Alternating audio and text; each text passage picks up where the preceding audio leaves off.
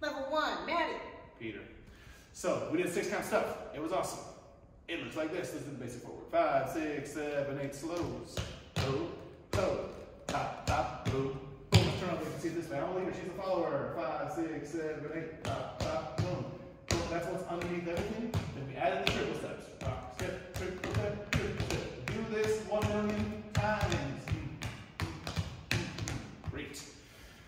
Then we put it together.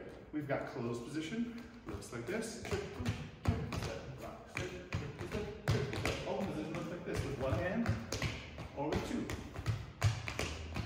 We just move between those with the leader moving. We'll do other stuff later, but for now, you just mix that up. And then we showed you the old bread and butter, the tuck turn and the um, inside turn, or the change places.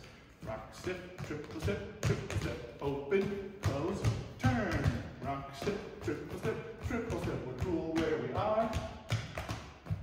Eventually, we can come back together. We'll show you this way.